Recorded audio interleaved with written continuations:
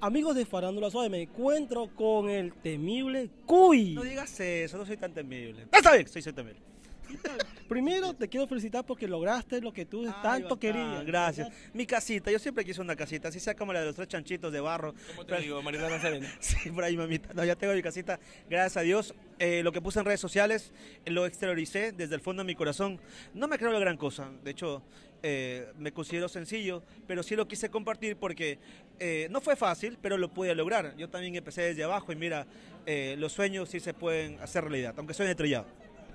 ¿Qué mensaje tú le puedes dar a toda la juventud que recién están comenzando para que puedan lograr sus sueños, puedan salir adelante? Ahorrar, loco, ahorrar. Yo empecé ganando 100 dólares. De 100 dólares eh, rentaba un cuarto, recuerdo chiquitito, que te- utilizaba la, eh, ponía la ropa en cartones, la ropa apestaba, la verdad, por la humedad.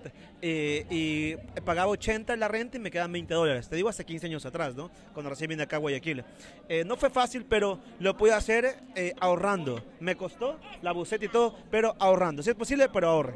Un saludo para todos los seguidores de Farándula Suave. ¡Farándula Suave! Gracias por todo, por tratarme súper bien. No me gustan las entrevistas, pero ustedes hacen un trabajo espectacular. Felicidades. Gracias. Chao, se cuidan.